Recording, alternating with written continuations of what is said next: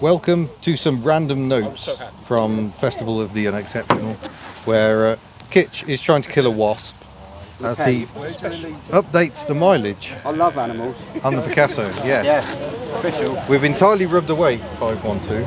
It's gone. Oh, there goes Matt. Bye, Matt. He's in a hurry. There we go. He's just, just doing a little drive-by tour, Matt in his Punto. Oh God, that looks awful. I kind of missed that then. Can you do it again? Why are you colouring it in? None of the other letters are coloured. Because it's I'm making it unique. Oh, okay. Uh, hello. Uh, yeah, Does that look worse? That looks terrible, mate. it's really bad. I've never actually met good Yeah, I know. I, let me just. You, you're just in time to see his awful attempts at colouring in. I mean, I know it's your birthday. Did you know it's Kitty's 40th birthday? I know. Someone sang happy birthday. No, not again. I didn't get it the first time. to be fair. It's, it's a work of art. But yes, the Picasso. uh, Am I allowed to show them the welding? Um, when are they going to see it? Oh, I don't know. I have no idea. No, I think I better save it. Yeah, it's. It's worth looking out for. It's an experience. Yeah, it's good to meet you. So a bit of bonus footage at the end of the show. The Mighty Dacia is unwell. It's having a few charging issues. So I think we're going to use a Vauxhall Corsa to try and encourage it to live.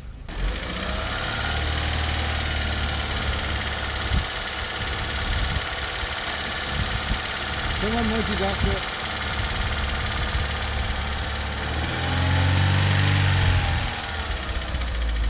I think we haven't got a connection somewhere. It's not quite connecting,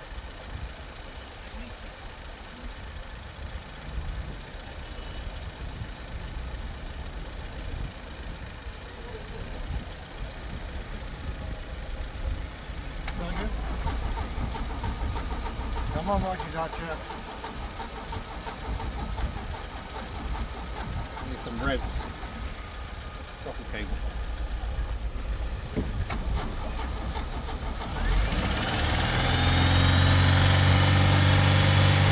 Lid.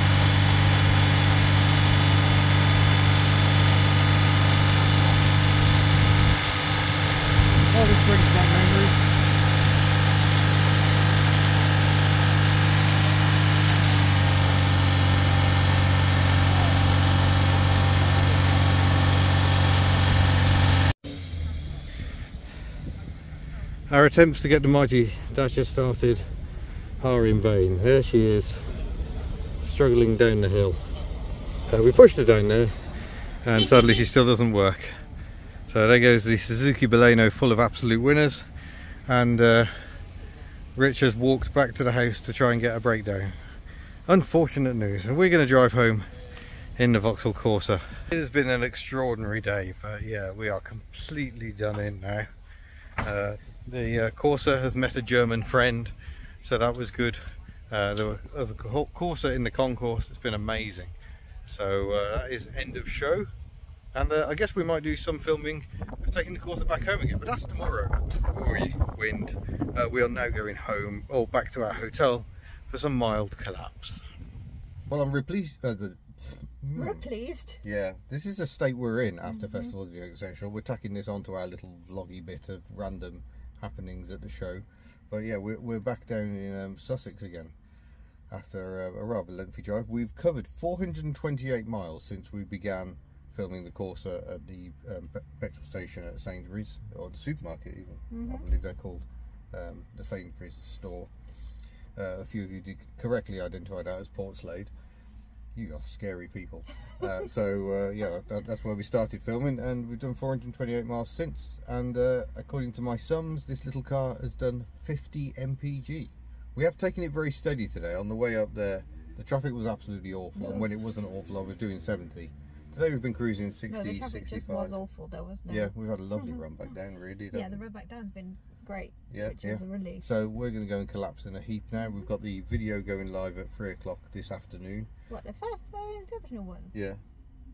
I thought we'd like sit on it a couple of days. You No, no, I get No, this straight out. We've, we've got the exciting one, the, the lingo one. That, yeah, that's what's and, waiting. and worse than this, right? Mhm. There's a partner video to that one, not Blingo and partner, as in a twin video to it. Yeah. Because we filmed two And we, we don't know what's happened different aspects. Now, the person that filmed the twin video we gave him the juicy tidbit of information that was the identity of this car before anybody else knew. Yeah, we gave him. And we thought in exchange for that, we would get the heads up on what happened in his twin video. and we haven't. He hasn't told And us anything. didn't. No, so we're not And very I spoke to him yesterday and he said, Oh, I didn't know it was a deal. Yeah. It was a deal, mate. And After I sang "Happy Birthday" on the stage for him yesterday. I know. Gave Anyway, dignity. Yeah, it was a, a, a cracking event. We are utterly um, exhausted. Yeah. Um, I'm glad I don't have to drive. Oh no, we've got to drive back to Wales tomorrow. But before then, let's take advantage of being in civilization with takeaways. That's a good idea. They have actual takeaway food delivery here. we, we don't understand such novelties. But a little bit about the Corsa. Um, it, it's done us very proud. It's, it's done very well. Uh, uh, being an car, it, it is um, pretty good. I, I find the driving position a little uncomfortable. My knee hurts a little, but that's so often true of any car.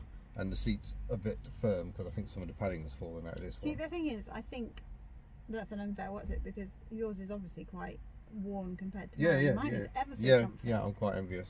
Yeah. One day we'll be able to swap positions. Yeah. Mm. But yeah, I mean the, steering's nice, even though it's not power steering. I, mean, I, I saw people in the comments saying, "Oh, I drove one that was horribly heavy."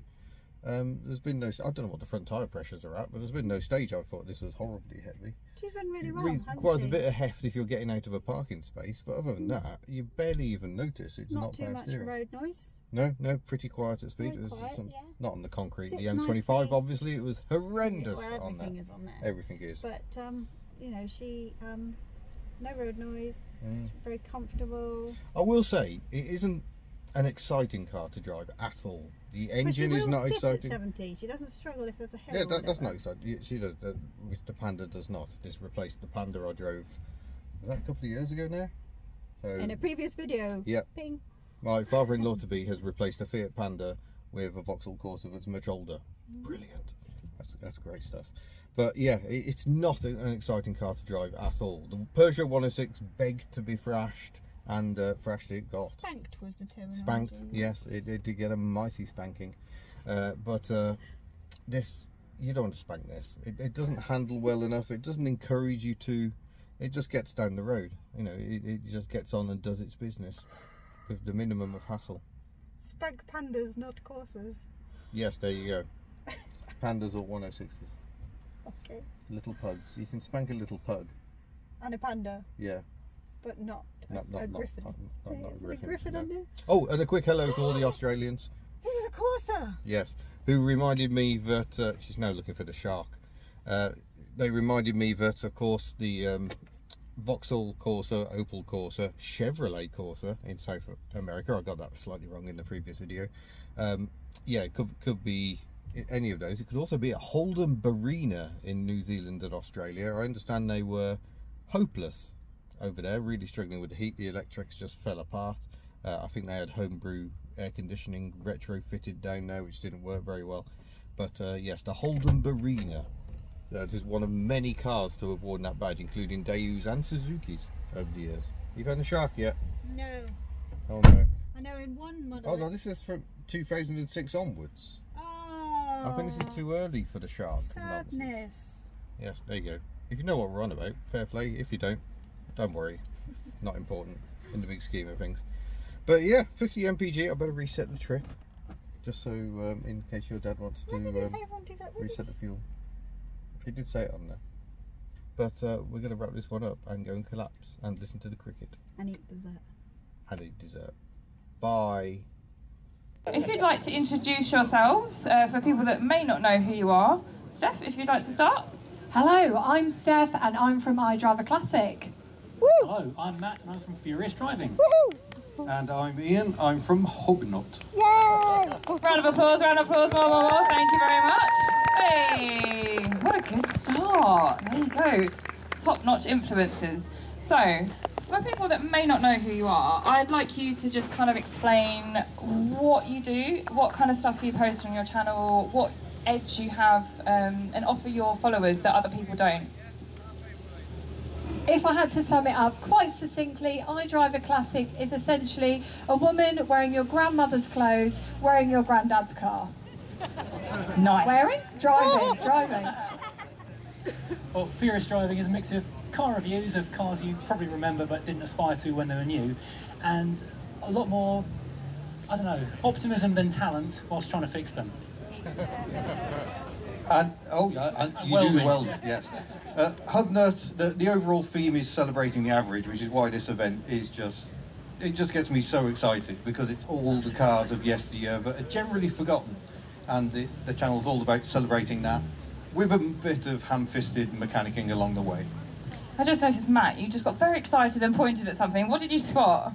Baby blue Rover 75, just like a. if you're the owner of the Baby Blue Rover 75, I think you've got a fan. So uh, yeah, hopefully they can hear you. Um, I have one very similar at home, which I debated bringing, but I thought it was too exceptional to, to bring.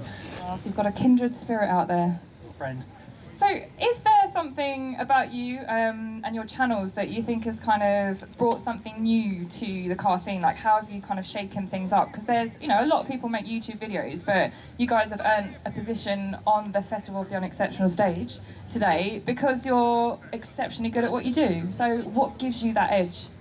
Uh, I, I think it's almost by accident, really. I, I started Hubnut primarily because I, I used to work in the classic car media, and you always had to write about certain cars. And it's just like, I want to write about these oddball ones. And so Hubnut began as a way of me having that freedom to talk about what I wanted to talk about.